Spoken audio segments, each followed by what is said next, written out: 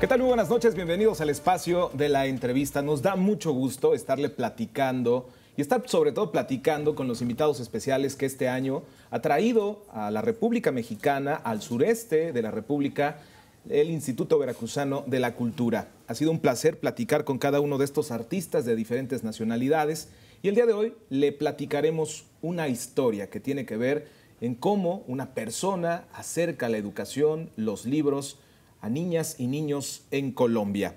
En 1997, Luis Humberto Soriano Bojorques tuvo una idea que para muchos fue maravillosa, pero para otros constituyó una verdadera locura. Por su propia cuenta decidió cargar en el lomo de dos burros, Alfa y Beto, 70 libros de matemáticas, literatura, geografía e historia. ¿Su objetivo cuál era? Llevar a niños sin recursos ubicados en apartadas zonas de Colombia. Esta noche en la entrevista conoceremos a Biblio Burro, la increíble historia y la labor de un profesor colombiano. Le damos la bienvenida, maestro Luis Humberto Soriano Bojorques. Bienvenido a México, bienvenido a Veracruz, bienvenido al espacio de la entrevista. Oh, muy amable de su parte, gracias por haberme invitado y bueno, aquí estoy para eh, llenarle interrogantes, servirles de, de, informante de qué se está haciendo en Colombia hace desde el 97 hasta acá. Profesor Soriano, durante más de 20 años realizas, y me voy a permitir hablar, hablarte de tú, una labor sin descanso y muchas veces de manera muy silenciosa, pero que está dejando huella y que otras naciones también ya lo han adoptado y lo están haciendo también en sus países. Eh, ¿Cómo nació la idea de Biblioburro? Bueno, mira que en el 1997 en Colombia se vivía de la física necesidad porque no teníamos tantos recursos como destinados a la educación. Entonces nosotros los maestros yo soy maestro allá en el sector rural, nosotros los maestros teníamos que hacer eh, uso del medio que teníamos ah, para poder satisfacer las necesidades que nos apremiaban. Eh, entre esos, el colmo de un maestro es que los chicos y las chicas, los niños y las niñas, no hagan sus labores. Entonces, pues, un fin de semana decidí ir a sus casas, indagar y darme cuenta por qué no hacían las labores educativas y me di cuenta que no tenían libros. Y quien tenía más libros en, el centro, en el poblado, era, era yo. Entonces decidí compartir esos libros. El primer día fui a pie, pero el peso de la, de la literatura, por favor. Entonces al segundo sábado que pude ir a sus casas, fui con un burro. Eh, pues ya teníamos un burro desocupado y monté los libros en el burro y los llevé a sus casas. Eh, ahí nace lo que yo tampoco sabía que estaba haciendo en esos momentos yo solamente tenía una herramienta para acercarme más con libros a la literatura infantil, a los libros a los niños. Entonces, en ese proceso eh, de llevar libros a sus casas, nace lo que todo el mundo conoce hoy como Biblioteca Rural Itinerante Biblioburros. Eh, de ahí para acá, del 97 para acá, eh, le hemos dado forma, cuerpo, tamaño, nombres, porque ya no solamente estoy con un burro, sino con una burra que es bibliotecaria, ¿no?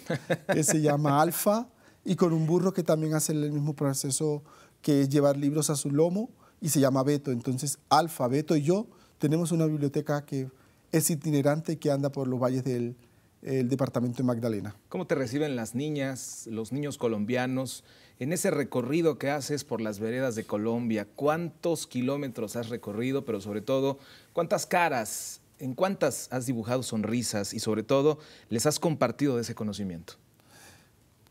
Bueno, llevar eh, la estadística de cuántos niños eh, hemos auxiliado en estos momentos con este proceso, eh, hemos colaborado a muchos.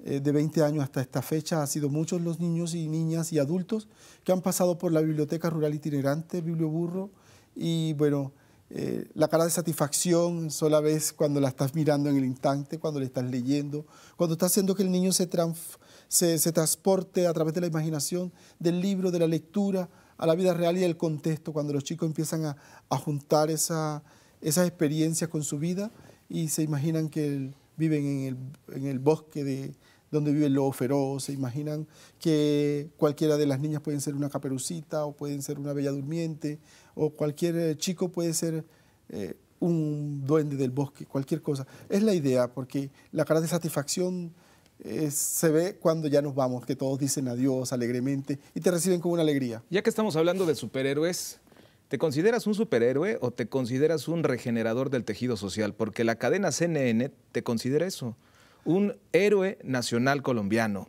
Bueno, eh, ¿qué te gracias, consideras tú? Gracias a la cadena, ¿no? Que, que, que pone ese título, pero en verdad yo creo que soy un regenerador de tejido social, porque en verdad estamos muy fracturados en esa parte social, porque todos los que habitamos en una comunidad tenemos que dejar una parte social de, nuestra, de nuestro pase por esa comunidad. Entonces yo creo que ya en este proceso de biblioburro no solamente estoy yo, ya involucré a mi familia, ya mi papá, mi mamá, mis hermanos, mis sobrinos, todos hacen parte de una red que está bien armada, eh, que ya hemos constituido porque hemos traído también otras partes a hacer este proceso como la caja de compensación familiar de nuestro Estado o de nuestro departamento hace, hace el acompañamiento a la red de biblioburros, que ya no soy yo solo, ahora somos una, una unas otras comunidades, han apostado a que sí se puede y bueno, ahora tenemos eh, de las tribus arsarios,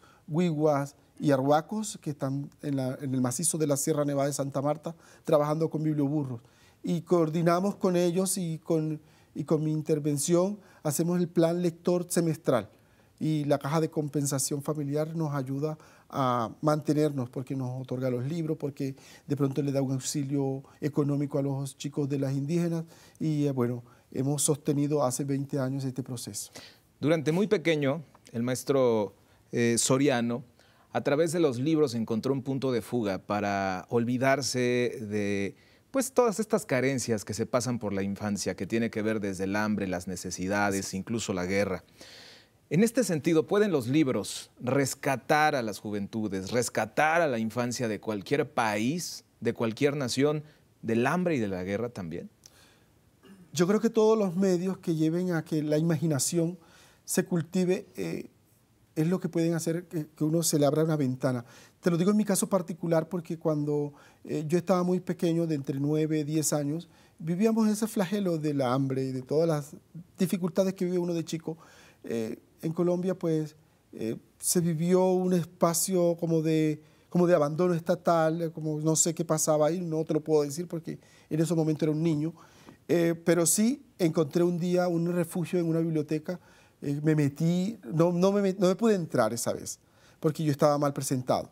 Y me volví a presentar a la biblioteca al día siguiente, me paré en la ventana de cristal y no me dejaban entrar porque también no llevaba zapatos. Entonces me volví a parar el otro día pero ella llevaba chancletas. Entonces la señora, salió una señora gorda, ella muy simpática, y me agarró de la mano y me dijo, mañana te pones mejor y entras. Pero ese, yo corrí enseguida a un libro que se llama Las Mil y Una Noche, pero era porque me sentía atraído por, el, por las imágenes, por los dibujos. Entonces cuando fui a la casa fui contando lo que había visto. A la biblioteca ya pues ahí mitigaba más el espacio desescolarizado, la parte de no cojas, no te vayas, tienes, te falta. Eh, en la biblioteca sentí yo ese, ese, ese refugio y bueno, eh, esa ventana se abrió ahí para la imaginación.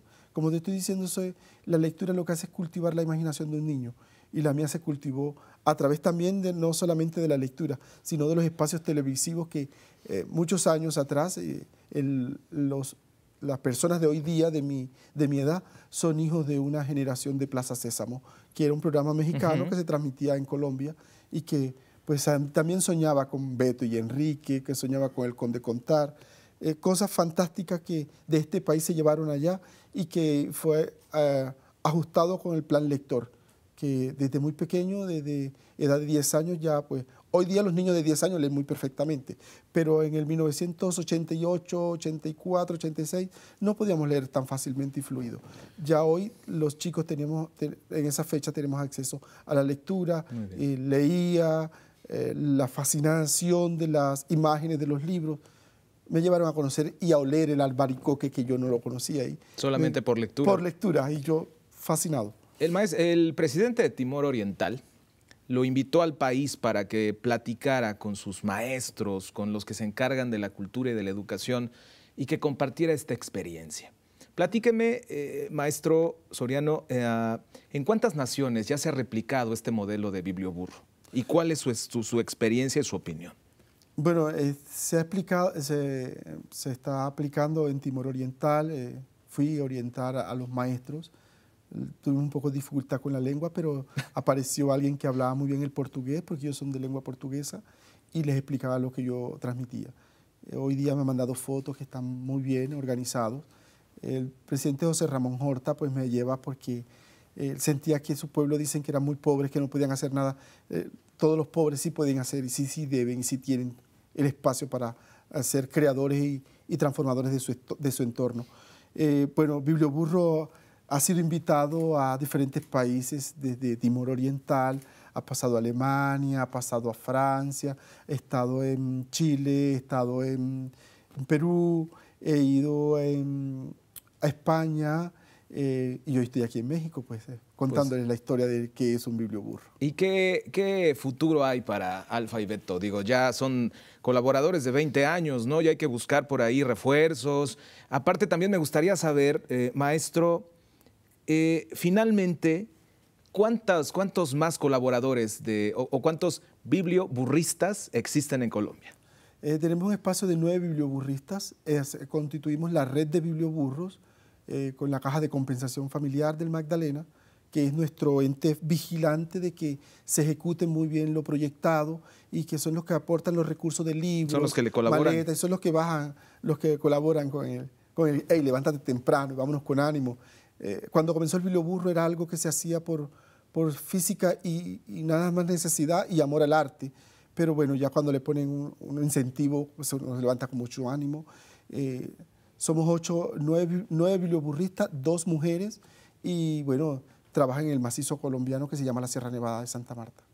Ahora, eh, me gustaría saber los, los planes futuros para Biblioburro, qué hay de más. Y que me platicara brevemente, porque ya estamos a punto de finalizar esta la entrevista, con un proyecto que se trae y que viene sonando muy fuerte. Biblioburro Very Nice. ¿Esto qué es? Biblioburro Very Nice es llevar eh, tablets, tener eh, computadoras, eh, portátiles. Ya se puso fresa, entonces. Ya tenemos parte de donar un Wi-Fi portátil y se lo montamos a los chicos en el sector rural y bueno, los mandamos a navegar y que ellos manden su informe para que el resto del mundo conozca todo lo que... Porque no tenemos que perder el entorno, lectura y, transformación social. Es el, el uso de las nuevas tecnologías en el sector rural que es 200% campesino. Pues yo le quiero agradecer, maestro, de verdad, esta visita aquí en el estudio de la entrevista, contar esta historia que no siempre ha sido una historia de éxito, también ha habido lágrimas, también ha habido muchas cosas que le han dejado marcada su vida, pero que verdaderamente seres humanos como usted dan luz, dan educación, dan formación y sobre todo dan cariño muchas veces a esas infancias que se encuentran un tanto olvidadas de programas sociales, de los gobiernos, incluso también de sus propios padres. Deseamos de verdad que esto siga siendo una trayectoria con mucho éxito, pero sobre todo que en su corazón haya muchísima pasión por compartir estos libros a muchos otros niños y seguir pintando sonrisas allá en Colombia y muchas otras partes del mundo. Gracias por estar esta noche con nosotros. gracias a ustedes por haberme invitado y fue un placer estar aquí en tu país. Nosotros agradecemos eh, que usted esté con nosotros en este espacio de la entrevista. Vamos al estudio, vamos a regresar con más información. Allá te alcanzo en un momento, Adriana Sánchez Cano.